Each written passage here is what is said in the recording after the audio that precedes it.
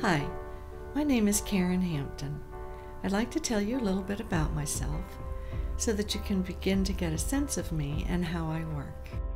Currently, I work with adults and young adults and seniors in individual counseling and psychotherapy.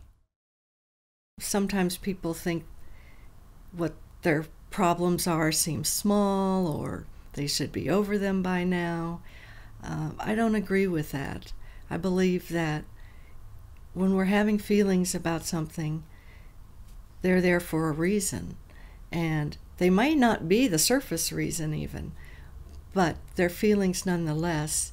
And I believe therapy can help with understanding what those are all about.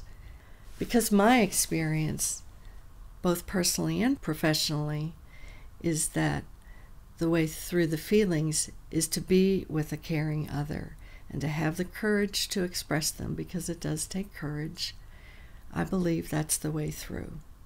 When you really feel understood by another, it actually helps you understand yourself better uh, and get clarity about who you are and appreciate and value yourself.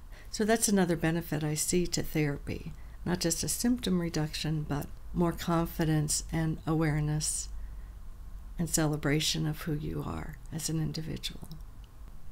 I also think that it's important that when you're in therapy, you have the sense that the therapist is keeping you in mind, even when you're not there.